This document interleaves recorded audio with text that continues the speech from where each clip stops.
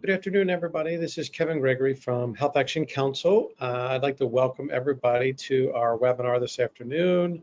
Um, we've got some folks as they're getting to come in. Uh, I want to thank everybody as before we get started. Uh, I'd like to acknowledge all of the Health Action Council Premium Annual Supporters, uh, as you'll see on the screen.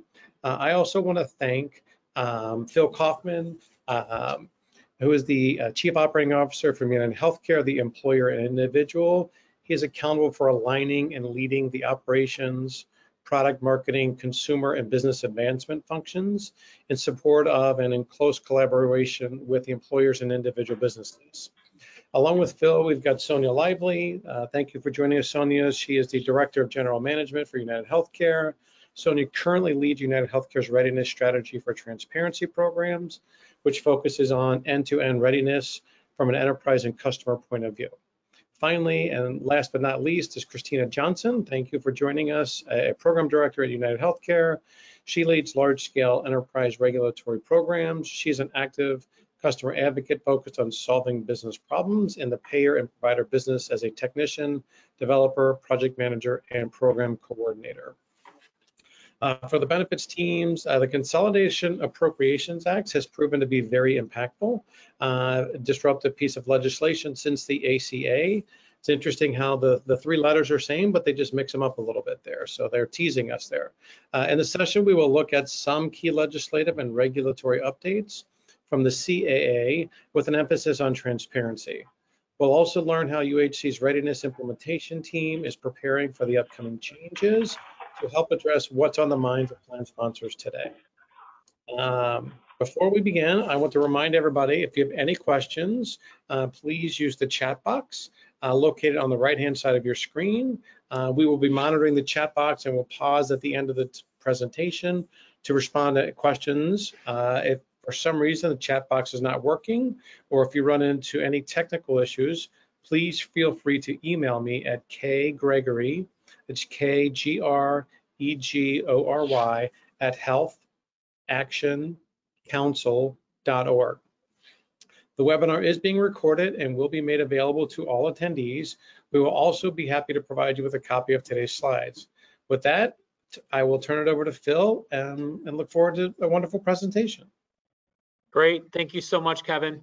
And you can go to the next slide here. We really appreciate the time today. I want to again thank the Health Action Council for having us here. For um, those of you who either work with them or are thinking about um, joining them, I can just tell you they're tremendously partnership oriented as well as proactive and very forward thinking in terms of how they approach healthcare within the space.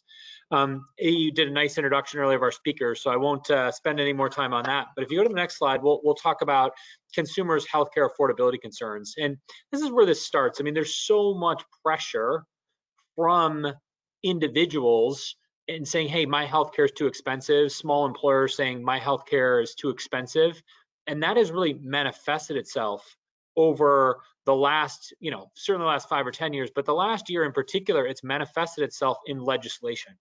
And I think one of the changes here, or certainly a very significant difference from my previous 20 years in healthcare, is that the legislation now is reaching much more deeply into self-funded ERISA-based plans. Historically, a lot of that regulation really stayed within the fully insured space, but now it is expanding significantly. And that's really the dynamic of a lot what's driving you know, a lot of these different bills and acts. So if you go to the next slide, um, there's a lot on our minds. There are a lot of buzzwords, transparency, mental health parity, no surprise billing, gag clauses, plan compensation tools.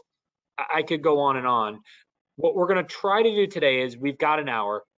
We're going to try to do is strike the right balance between strategic and giving you our view of high level, what we think is going on and what we think, frankly, you need to be thinking about. And then we will also do between Christina and Sonia some, we'll try to get a little bit tactical so you really understand what's in there and what could be the implications for my firm. So we'll we'll try to strike that that balance today. If you go to the next slide. Um, um, Christina will go in detail on the Consolidated Appropriations Acts. And I would say that there are a number of, again, I won't, I'm not going to read all the points here. There's a number of administrative items in there, ID cards, gag providers, continuation of care, et cetera. But the biggest piece of this is, is really the um, out of network provisions. And we'll talk about that in a second. Um, we'll talk about a couple other key elements of this, but the out of network provisions is a really big deal. And restructuring and putting in place more guidelines to hold the member harmless and how the insurance company and the providers are going to negotiate these out of network um, these out of network bills. And and I'm not again I, will I'll let I'll let Christina cover kind of some of the details behind this. But what I, I'm going to speak to is strategically how do we see this changing the field? And I think the first thing that we're thinking about is on balance, is this going to make out of network providers more likely or less to participate in network? And will it make their behavior more or less egregious from what we see today? Those are kind of the key elements that we are focused on. And I think heading into this, um, and there's a lot of detail yet to be determined, I would say um, generally, that A, there's going to be a lot of state level variation. So any answer that I give you here could differ a little bit in the way in which, because some states have their own out of network rules, and um, consumer protections in place. So how that interacts with the national bill has yet to be fully defined. So I'm going to put that aside. Keep in mind that there will be a decent amount of state variation here, but on balance, the way in which this works, I do believe that over time it will drive more rational behavior in the out of network space. And um, there's a lot of ins and outs of how that'll work and baseball style arbitration and all these different things. But I, I think at the end of it, um, I do think that it drives um, that type of um, behavior. The, the second thing I will tell you here is that um, while th there's a surprising lack of clarity on all of this today. And we're still waiting for additional guidance to come out from the federal government. I, I do believe that there's a decent chance some or all of these provisions do get pushed back. Now, that doesn't, we're in full preparation mode right now, as you should be. I don't think we can count on that. But I, as I look at it, and given how many wide spaces there are for interpretation here, I, I think there's um, there's certainly more to come in terms of in terms of definition. Um, so we'll get into more details in a second. If you go to the next slide, I do want to call out one other element of this, which is buried within here, there is an additional focus on mental health parity. Now, nothing is new. There's no actual new regulations around parity itself. That's been here for a while. But what is new is that there are more reporting requirements, and particularly for self-funded plans, now there's a clause that says, hey, you know what, a government can approach you and say, hey, I want you to produce this documentation. What I would tell you is, is that first of all, this is not designed with ERISA-based plans in mind. This absolutely was designed for health insurers, for to give the, the federal government and the states more tools to go to health insurers to prove that they are in compliance. Now that doesn't mean that if you're a self-funded um, client, you you you can ignore it and just say, hey, I'm not I'm not going to pay attention to it. Um, and our teams kind of stand ready to kind of help you through that process and what you need to do. But I also just want to kind of give you the practical view that we would be very very surprised if um, tomorrow all of a sudden you're going to see you know states and everything requesting. Wh where the risk is more, frankly, is from class action um, lawsuits and trial lawyers getting into this information and understanding, hey, wait a second, you may have violated ERISA as an employer. So that's really, when you think about the risk of this, I, just want to kind of call that out. That's where we really see the risk is. It's it's on our shoulders, it's on yours to make sure that everything is really tied up from a compliance standpoint. And again, the risk isn't in the reporting, right? The risk is that you would actually have something in your plan that isn't compliance, um, and then that you know maybe there might be some type of class action um, behind that. Let me keep going here because, um, and just we, we discussed this beforehand from a pacing standpoint. We're going to try to move relatively quickly to make sure we can we can get to your questions at the end. I think you said earlier you can just enter questions in the Q and A box, and we'll try to pick up as many of those as we possibly can. So if you go to the next slide, um, the, the, the so there's the there's the Consolidated Appropriations Act. Within that is is um, more mental health parity uh, re reporting requirements, but there's also a separate, a completely the tri completely separate bill, the tri agency transparency rule and coverage. This has two parts. The first part is a consumer transparency tool.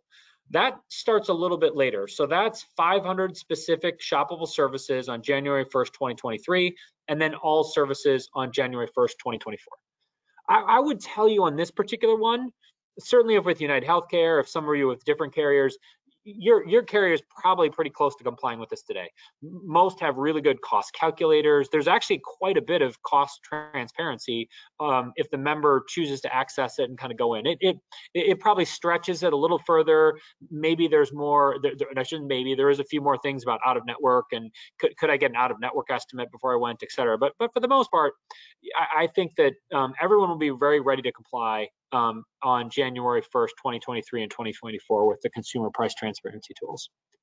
The, the much bigger, more impactful part of this is this machine readable files. And what this means is that starting January 1st, 2022, United will need to disclose its rates with every single provider for every single network that we have. And not just United, Aetna, Cigna, Blue Cross Blue Shield, everybody. So all of the rates will be, in theory, 100% visible in the open market. Now there's a compliance aspect because we need to comply as a fully insured player. And then for all of you, you will need to comply as well with this. So the, technically the compliance here is with the self-funded customer to show, you know, what network they're using and what rates. Now, Sonia will get into later, just know that we'll be working to comply on your behalf. So you don't need to, you know, we'll work with you on that piece. Um, but I, I want to talk to here the implications for the space because I think that's the more, th this is the strategy part and how does this actually change the dynamics. I first want to start with the COVID backdrop. Um, and I want to start with just a reminder of the way in which a lot, I'm not saying every market, but in a lot of markets, the way negotiation works today is, is that providers are very limited. They can't really change their Medicare rates. They also cannot really change their Medicaid rates. So to the extent that they have pressure in their costs, in their expenses, the only practical place they can pass those costs in the near term is into the commercial market. Over the last year, because of all of the subsidies, PPP, direct subsidies to providers, it's a little bit difficult to understand what the financial condition is of the various systems around the country. So is that water comes out um, it'll be interesting to see, okay, that, that could in theory put pressure on rate negotiations. Inflation, to the extent they have to pay their employees more, is gonna put pressure on rate negotiations, and that is going to come into the commercial market. So that, that's an important backdrop of this, and this idea that really all the excess is gonna get pushed into the commercial market. Um, now imagine everybody's rates are visible. And how does that change these negotiations? And I wrote down five things here. Um, I didn't put them on the page, but I'll, I'll, I'll, try to be pretty crisp on how I think this really changes the dynamics. Um, number one is that if, if all the rates are visible, I do expect that in any given market, the range that you would see is going to narrow a lot. Won't, won't happen day one. It'll take two or three years, but over two or three years, you'll really see the range of which providers are offering something in the market that will narrow. Number two, in markets where very large systems today have significant market power, you, I think, will see them basically raise the rates. Um, and I think they will take all those who were kind of lower before, and I think they'll raise them up. So I, I'm generally, I mean, there's different views on this, but I think generally the transparency in markets where providers have significant market power will generally lead to higher rates. Um, in a lot of situations, not in all, um, but in, in many situations. Now, on the flip side of that, uh, on the positive note, number three, I do think the transparency will put a lot of pressure on egregious billers. Because before it, it would be very opaque, it's kind of hard to get at that. Now with everything out there, it will be very clear for all to see that, hey, wait a second, how come you're charging a thousand for that service in this contract and everybody else is charging 100 so i think that will be a positive on the other side. So there's some there's some puts and takes in terms of how the transparency will work. Um, number four um, i think that you will see a lot more in terms of total cost of care. So as as you see the the narrowing and you say okay what's important now with my relationship with the system my ability to share data with them via PreCheck My Script or our point of care assist. And so you can see what data we're having. The, um, the partnership we have, um, how we handle UMUR, how we think about a variety of different things, like those actually become increasingly more important in a space where there's a lot of transparency and the rate bands narrow and you see most of the health insurance providers operate in that rate band. Number five is, I would tell you, reference-based pricing. And th this comes up quite a bit. And I, I, get asked, hey, you know, Phil, do you think that there's going to be a lot more reference-based plans? Meaning, you know, we're just going to get rid of networks altogether. I am, um, there's different views here, but I'm, I'm a kind of firm believer that actually, as I said before, I think that the network contract becomes more important because it's not just about the rate, it's about the other things that you are contractually doing with that system. What information they're obligated obligated to provide to you and vice versa. How are you going to work together? So I, I think those elements become more important. I, I also think that um, from a from a reference based standpoint, um, to my previous comments, I don't think you're just being able to say, hey, I'm just going to reference base my plan at Medicaid plus 15%. I, I, think as soon as that gets any traction, the systems will say, hey, wait a second, no, no, you need to have a contract with us. Otherwise, we're just not going to see your, you're not going to see members who, who typically don't have a contract with us. Um, uh, however, within the reference-based realm, I do think that you will see more reference-based approaches in very specific verticals. And what I mean by that is, um, and I'll just call it a couple, this isn't definitive, but for example, um, radiology or anesthesiology. And you're saying, hey, you know what? For those specific sets of services, I'm either going to do a bundle or I'm going to say I'm going to give you kind of the reference price for the entire market. So I, I do think this reference dynamic of having the transparency is going to matter. Um, I think it's going to matter in places where there's higher cost and lots of variation. Um, but to sum up, I don't see a lot of hey, you know what, I'm just gonna I'm gonna reference base all my pricing, and that's that's the way I'm gonna operate. So that's that's just my view of the future. It's one individual's, but I'm here today to kind of give you some insight of how I think it's it's gonna play out. And then finally, I didn't mention it, but uh, just to add on the last point, I do think you're gonna see more capitated and bundled arrangements. You see that a lot on the Medicare side today. I'd be shocked if that doesn't come more into the commercial space. That's the that's the high level part. So oh, now, now, now we're ready to kind of dig down, and I'm going to ask my colleague Sonia Lively to come on, and um, we'll skip a couple slides ahead. I'll close out with commitment at the end. But um, Sonia, I'm going to ask you to pick up on on transparency coverage, and we'll go a little bit deeper here.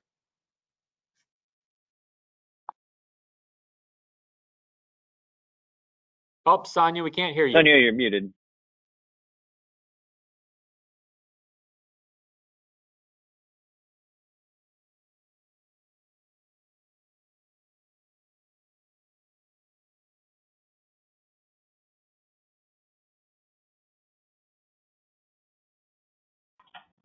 Can you hear me now? Thank you. Yes. Sorry about yes. that. Okay. Um, so as Phil mentioned, there are uh, two components of the transparency and coverage uh, rule that I'd like to speak to. And I, I want to also ensure that um, we, we talk a little bit about not only do we share the, at United Healthcare share the same goal to ensure that we have transparency, we're meeting the regulatory requirements on the stated timelines. I do want to note that we are uh, pursuing some advocacy effort, excuse me, efforts related to these regulations in, uh, to tie the, the Consolidated Appropriations Act provision uh, around the consumer price transparency tool and the trans, uh, transparency and coverage rule to an implementation date of 1-1-23. And I'm going to apologize if I hesitate. I've got some uh, reverberation in my ear, so I'm not exactly sure how to solve for that, but I'm going to push through. Alrighty, so let's take a few minutes to look at the specifics and our plan forward toward compliance with the transparency and coverage rule. Next slide, please. Uh, first, as Phil mentioned, there are uh, a requirement that we provide three machine readable files that are publicly available. The first file is the in-network file that uh, identifies by plan, by code, by contracted rate, and the providers with whom we have those contracted rates on a monthly basis. Um, additionally, the, the same is required for any out-of-network um, uh, allowable amounts. And then, uh, as uh, uh, Phil mentioned, there's the prescription drug component as well. For 2019, for 23, we have 500 shoppable services that will be required on the transparency tool, and then in 24, all services. The Consolidated Appropriations Act effort under this uh, regard is also being included in the transparency and coverage rule team, so we'll be covering both. Next slide, please. Within United Healthcare, we have a dedicated program team with representation from our legal uh, team, regulatory and compliance, technology, of course.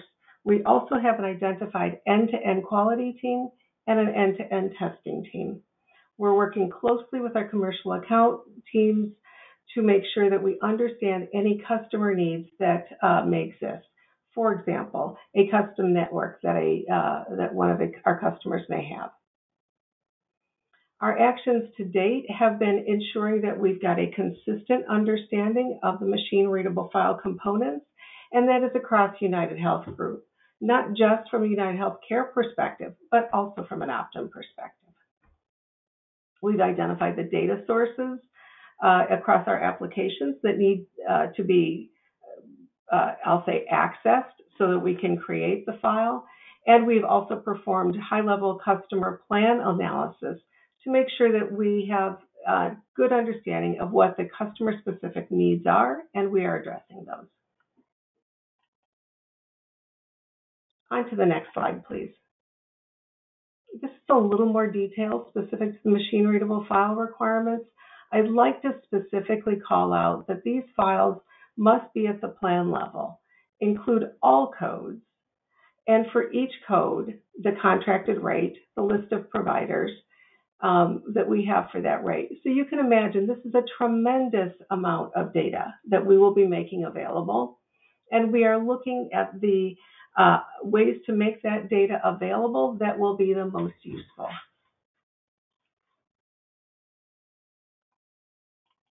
On to the next slide, please. Um, we will, as I mentioned, create and publish the files required for medical and pharmacy for all customers uh, on the uh, on a United Healthcare site. Um, we will also provide support for custom requests, such as creating a monthly file and making it available to our self-funded customers to publish on, on an alternate site that they may choose. Based on the type of a custom request, there may be a fee. And we will not be able to support the creation of acceptance of raw data for file creation or publication on January of 22. Okay, the next slide, please. The regulations that a custom, uh, excuse me, consumer price transparency tool will be available to estimate cost share responsibility for, for various services at the member level is that January 23 and 24 requirement. We believe that our existing cost estimator tool is compliant and meets the provision requirements in the Consolidated Appropriations Act for January of 22. For January of 23, the tool must contain cost share information, including deductible amounts, out of pocket amounts, and provider specific information, whether it's a contracted rate or an allowable amount, for any, as well as any medical management requirements for those 500 services. Consumers have more of a vested interest in understanding the cost of care and have more options, making it more important for consumers to understand the cost and services. And our goal is to support that effort.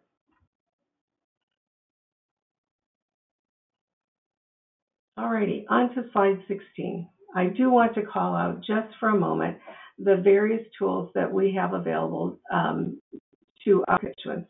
The myuhc.com uh, uh, system, which Amy Jordan will show you a demonstration of in just a moment, provides members with cost estimate information for over 800 services currently, including 600 episodes of care. We, that is what we will be expanding on to meet the regulatory requirements for January of 23 and 24. The Rally Connect is a tool that provides the ability to compare treatment options for various services and locations of services. And the Point of Care Assist uh, tool integrates health records and EMR real time for providers to assess health, health needs and coverage information. We will make sure that these tools are aligned for consistent uh, views from both of our consumer constituents and our provider constituents as we move into those transparency tool needs for 23 and 24. And then for prescription services, the MyScript Finder gives consumers drug cost information for any out-of-network pharmacies. Now, let's take a look at a demo and how this works for someone. Amy, I'll turn it over to you. Great, thank you, Sonia. Let me share my screen. Um, let's. So Amy, I've just prompted got- you. You should be able to share it. Perfect, thank you. Um, let me know if you can see my tool. Yes, we can. Perfect, wonderful. Okay, so I'm Amy Jordan. I'm the Director of Digital Strategy for E&I. And so I just wanted to quickly walk through our current experience for our cost transparency tool within um, the myuhc.com experience. We also have a companion app with the UHC mobile app that has cost transparency integrated within that as well. Um, but within this experience, we have um, cost transparency integrated with both our medical and our behavioral health directories. And so I'm just going to quickly walk you through a few of the different ways that we help explain the costs um, and provide um, that additional information for our members to help them make better decisions. So members can search in two different ways. They can search through a text field to find a specific um, physician or a specific procedure or service, or they can go through down our, our guided search path. So I'm just going to quickly take you through our guided search results. They're um, given a series of prompts and ultimately they would land on a search results page which lists out the providers um, available to them based off of what they chose. So a few, a few different ways that we showcase costs within the experience. The first is at the top, this total average cost in your area. So this is pulling the claims information that we have in our system and aggregating that and looking at the average cost for a specific type of visit based off of the zip code that's set up for that um, individual member when they um, are onboarded through the experience. And so ultimately, this is kind of the expected range of the average cost for this type of office visit. If you scroll down here a little bit further, one of the things that we've actually recently implemented um, within the experience is bringing forward more specific costs um, for those individual providers so that members can more easily compare between provider. Now, this is dummy data because this is a demo site, so the numbers aren't necessarily aligning here just in case that caught your eye. Um, but in this instance, this cost is reflected of the specific negotiated rate that we have with this provider um, based off of this type of office visit or specific um, a type of visit that you have selected here. And what's unique about this or what's interesting about this is this is actually dependent upon the plan design and where you're at within that plan, this cost would be reflective. So right now, if um, you haven't met a deductible, this would showcase the full cost. But if you have a deductible and you've met that and you're now paying coinsurance, this would actually be updated to reflect that coinsurance rate. And this is updated within our system in near real time as those claims get processed and that information comes forward. But that is the reason why it says you may owe, because as claims get processed in the system, that number obviously could potentially change if you meet your deductible um, or things come back and are processed differently and those costs change. So that's one of the things um, that we call out here. Now, if you're wanting to get a little bit different um, additional information, you can actually click View Services and Costs, and you actually get the full um, list of negotiated prices for all of the different services and procedures that we have on record with that provider. And then you get a similar breakdown in cost here. So the average cost based off of the zip code from that claims data, this is that aggregated rate here. And then what we actually have as the negotiated rate with that physician and then how that would break down depending on where you're at within your plan. So if you are, again, haven't met your deductible and you're paying the full cost, the insurance would be paying zero and then you would be paying that cost. If you've met the deductible and you're paying co-insurance, this would update to reflect what the insurance would actually be paying on your behalf, and then also what your expected out-of-pocket cost would be, ultimately landing at zero if you've met your out-of-pocket max. One other um, tool that we have built into the experience that really helps with cost estimates is specific to our services and procedures. So if there's something that you know that you need to be completed, whether it's an MRI or something more extensive like a, um, a knee replacement surgery, which is the example we have built here, members can search again via the text search or through the medical directory and select cost estimate. And ultimately, they were um, brought to a um, tool here where they can actually select a physician to complete the um, surgery or procedure or service, or a site of care if it's some sort of imaging.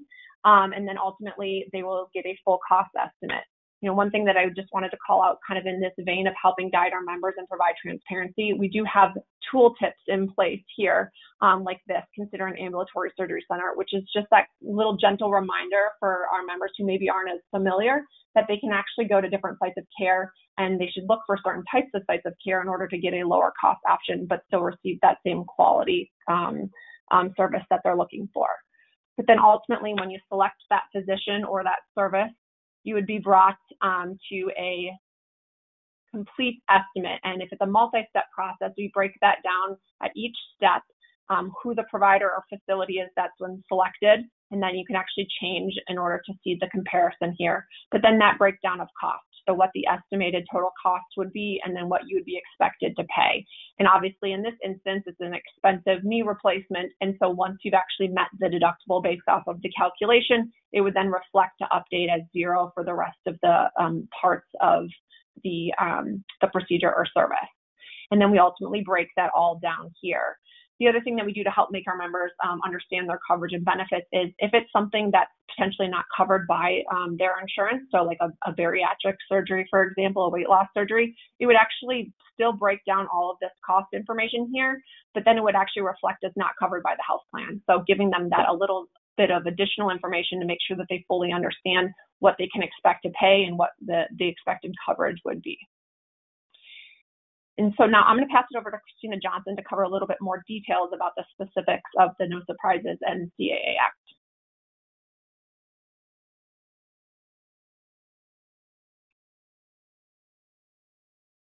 Christina, you're on mute.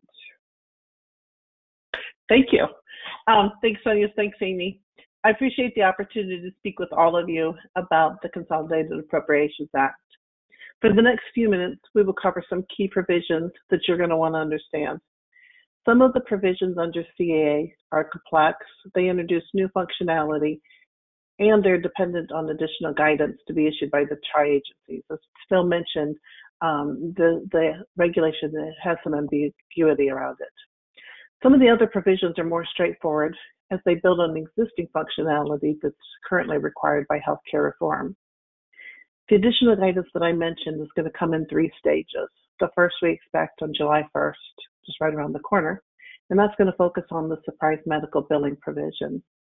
On October 1st, we're expecting additional guidance on the audit process for the qualifying payment amount, again in surprise medical billing.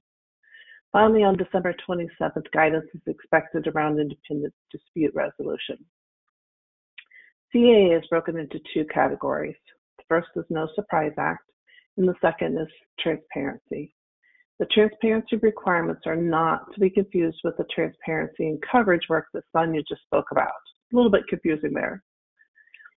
First, we're going to start by looking at the No Surprise Act and some of its components. Under the No Surprise Act, there are seven actionable provisions for health plans that cover functionality around arbitration, plan ID cards, advanced cost estimator, and directory requirements, just to name a few.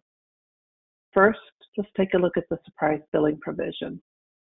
This provision protects members from receiving a surprise bill for services and payment obligations beyond what their health plan covers when receiving out-of-network emergency services, services covered by out-of-network providers at in-network facilities, and for out-of-network air ambulance services. It's designed to hold consumers harmless in connection with reimbursement disagreements between a plan and out-of-network providers. Additionally, providers are prohibited from balance billing patients for out-of-network emergency services. In fact, once the member's cost share is determined based on the recognized amount, No matter what the final reimbursement is to the provider, the member's cost share never changes. Out-of-network providers of ancillary services at an in-network facility as well. It is important to note that patients can be balance billed for out-of-network non-ancillary services at an in-network facility if the three following conditions occur. First is they need to inform the patient in advance that they are out-of-network. They need to provide an estimate of the charges and they need to secure a written acknowledgement from the patient. There are 34 states that have no surprise requirements currently in place at the state level. CA will build on the existing state requirements, not replace them. Next slide, please. As we discussed earlier, the additional guidance anticipated in July is expected to define how the qualified payment amount is calculated under CAA. This determines what the insurers and employers pay providers, as well as what the member's cost share applies to. One big change with no surprises is that the member's cost share and the provider reimbursement amounts are no longer tied to one another. They are bifurcated. The member's cost share is set based on the recognized amount. Now, the provider payment is based on the go out rate and then any negotiated and, if needed, independent dispute resolution. The independent dispute resolution process, sometimes called arbitration, determine the provider reimbursement amount if the health insurer or health plan and the out-of-network provider are unable to negotiate a reimbursement rate. The final dollars paid to the provider will not have any member cost share applied to them. These will be the um, at your expense. Once both providers make their final offer, the IDRN entity will choose the winning offer called baseball arbitration. That's because there is a winner and a, loser in this process. The party whose offer was not selected pay the costs associated with the IDR process. In making their decision, the IDR entity should consider the median contracted rate for the item of service. In addition, the IDR entity may request the additional information allowed under CAA in order to reach a decision. Once the IDR selects the winning offer, the losing party has 30 days to pay the amount that was decided. Unless another arrangement was made, the losing party pays the IDR expenses of the other party as well. Next slide, please. For ID, re- for ID card requirements, the following enhancements must be made to the plan ID cards beginning on or after January 1, 2022 as plans renew. The card is to include the in-network and out-of-network deductibles, the out-of-pocket maximum limitations applicable to the plan coverage, and telephone numbers and the website address where the members may obtain support. Now keep in mind as you're designing your new card layout for the CA requirements that the state plan ID requirements will need to be adhered to as well. For example, one of the things that's caused us challenges, there's four states that have font size requirements at the state level that you need to make sure that you um, take into consideration. This is an example of where a seeming simple requirement to add these fields becomes more complex because just of real estate and the state requirements that need to be honored as well. ID cards must be print ready by the plan renewal date.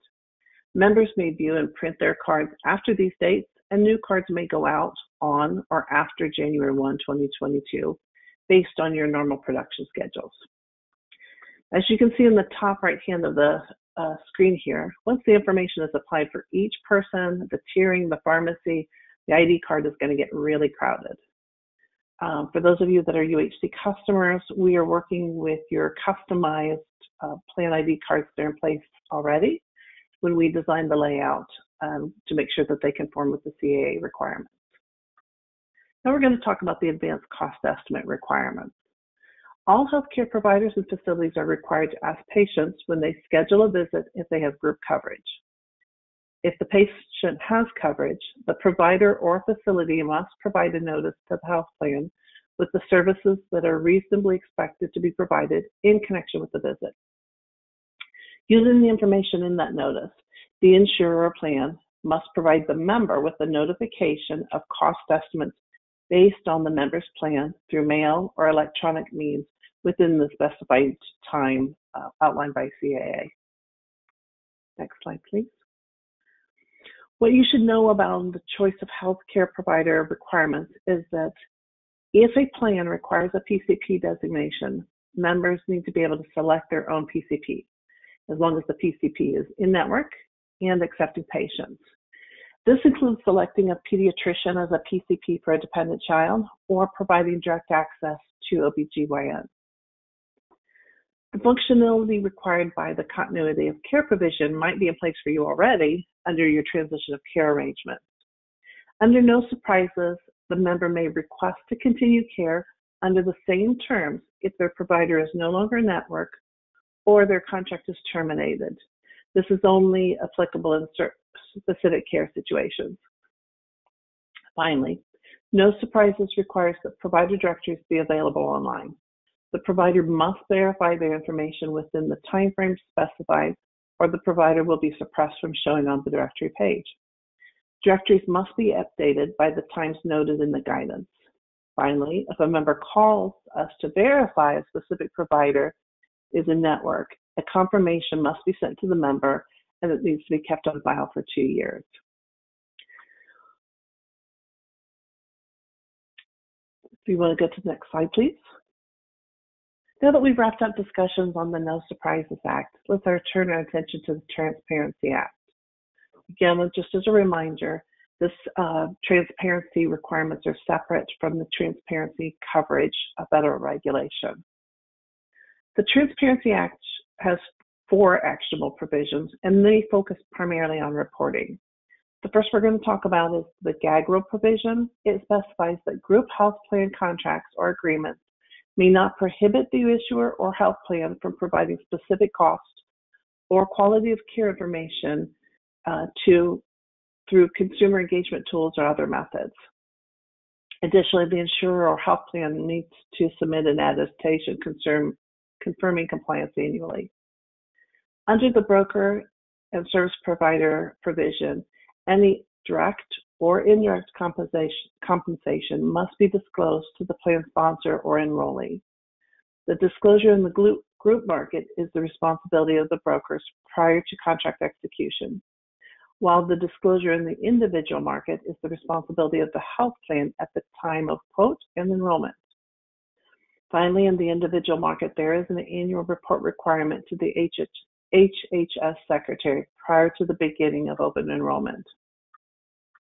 Pharmacy cost reporting provision requires that health plans offering group or individual health insurance coverage must report plan-specific prescription drug spending and certain medical cost data annually to the tri-agencies.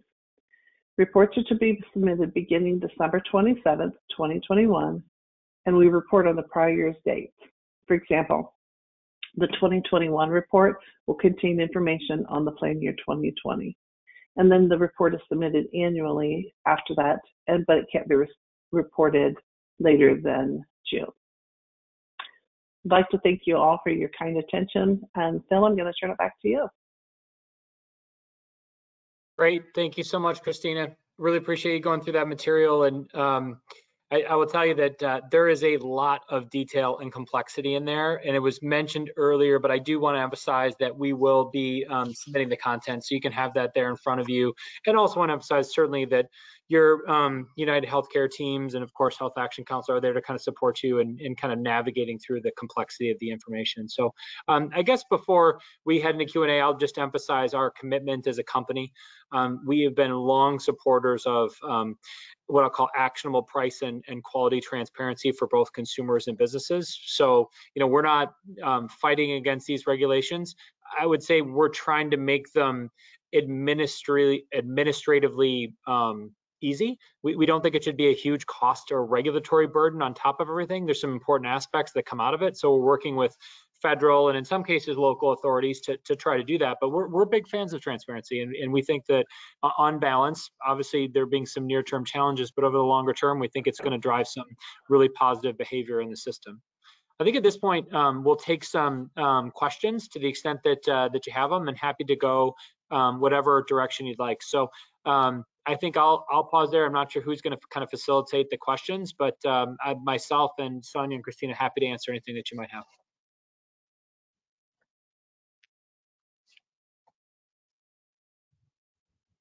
Kevin, do you want to jump on that and facilitate the questions? Yeah, this is, you know, happy to do that. Um, and thanks everybody. I think it was a wonderful presentation. Uh, I think the first question was, is, are the slides going to be shared? And absolutely, we'll take care of that.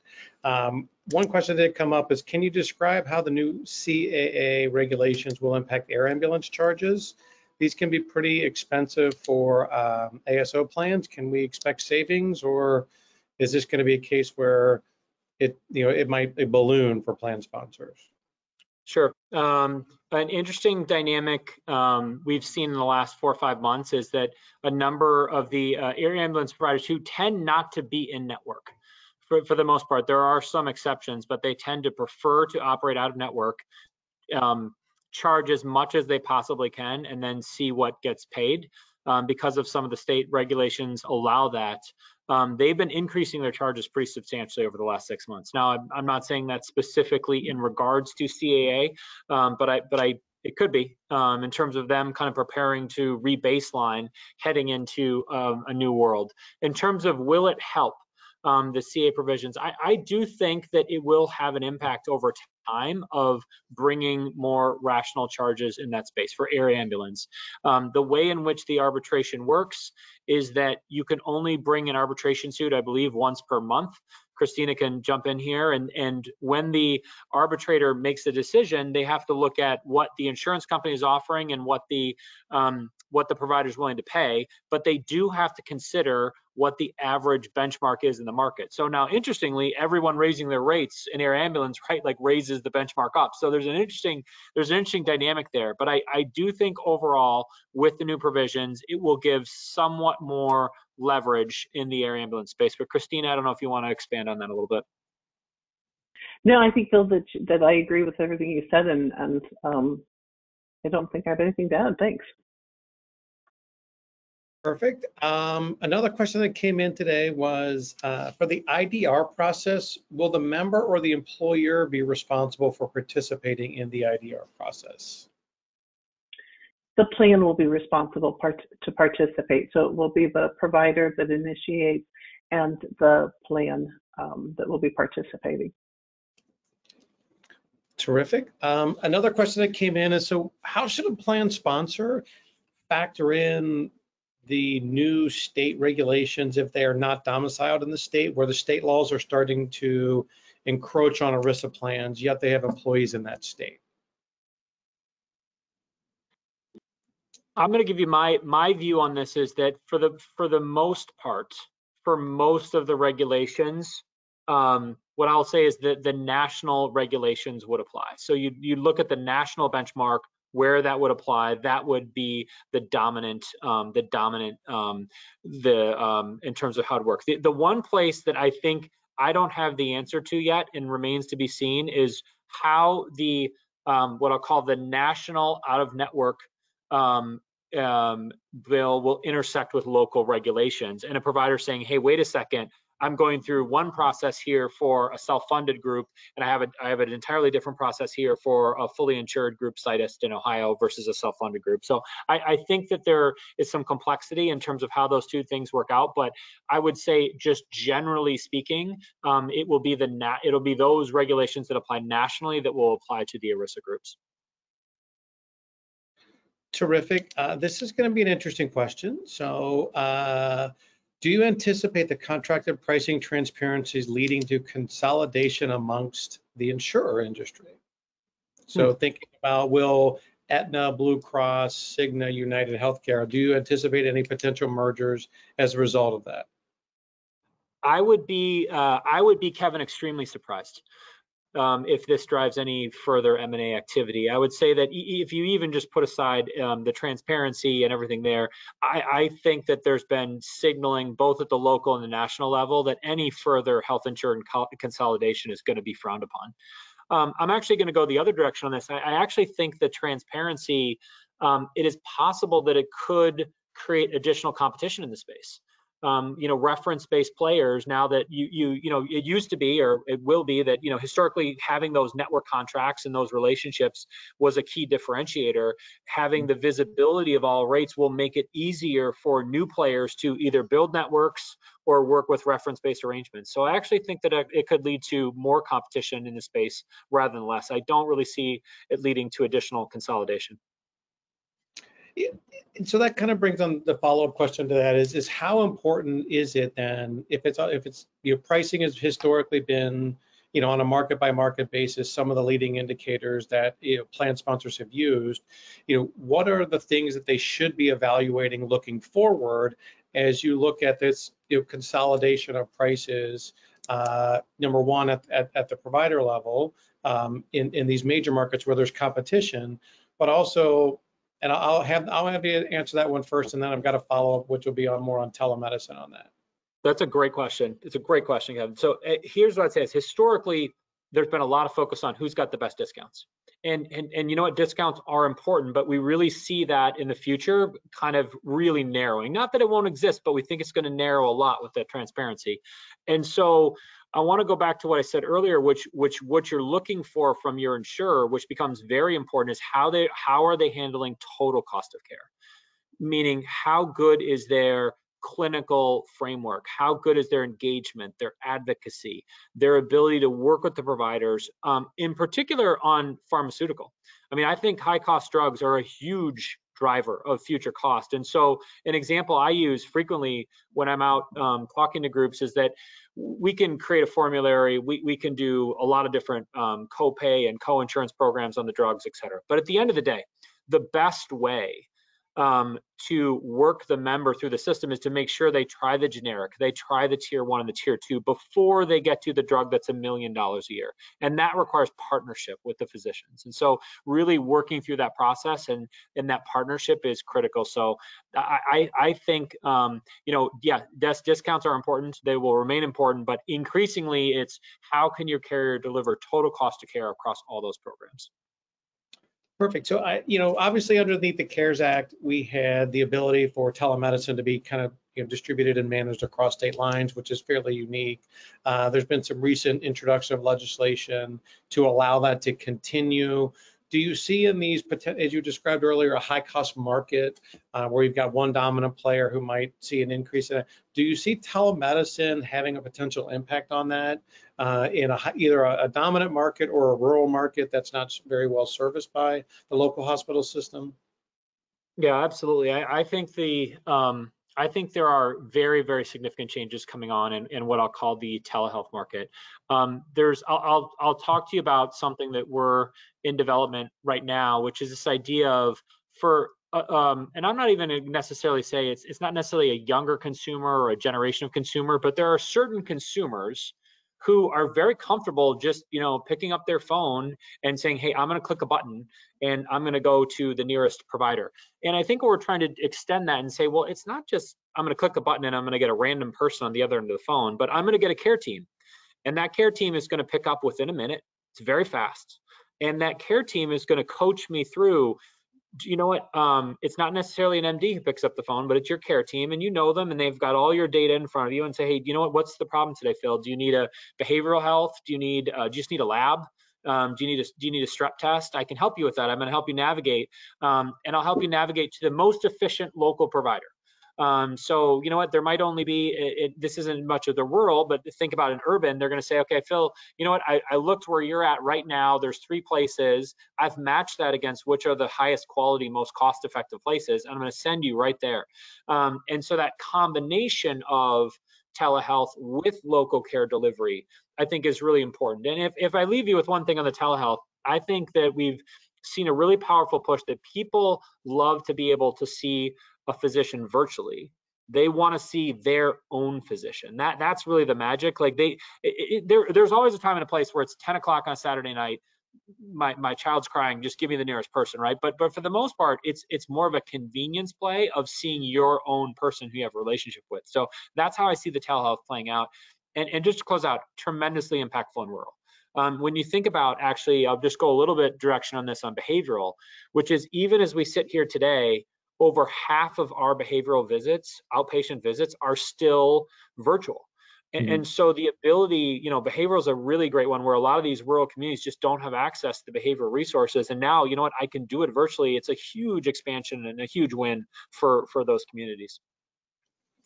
Well, I want to thank you, and I want to thank the entire UnitedHealthcare team for uh, sharing the information today. I think there's a lot of a lot of transparency from all of you about where you're at, where you're going, but also where the industry as a whole is going. Meaning, it's it's a lot harder than everyone thinks it is, and so the frustration that plan sponsors are having, uh, it's also shared a little bit. What I heard today from both from the UnitedHealthcare team is it's it's not as clear as what we want it to be. Uh, but we're all working in the right direction and pulling, you know, in the same directions to to create better outcomes for everybody. And I want to thank you uh, on behalf of Health Action Council uh, and all the folks that are on the call today for your time. Uh, we've got some questions, like I said. Uh, we'll make sure that we get the slides out to everybody for those of you who are inquiring about that. Um, and I appreciate everyone's time. We'll look forward to uh, for those of you who are attending, your your Health Action Council team will be following up with you to you know broadly introduce you to who we are and what we do. Thanks. Thank you. Thank you. Thank you. Bye, everybody.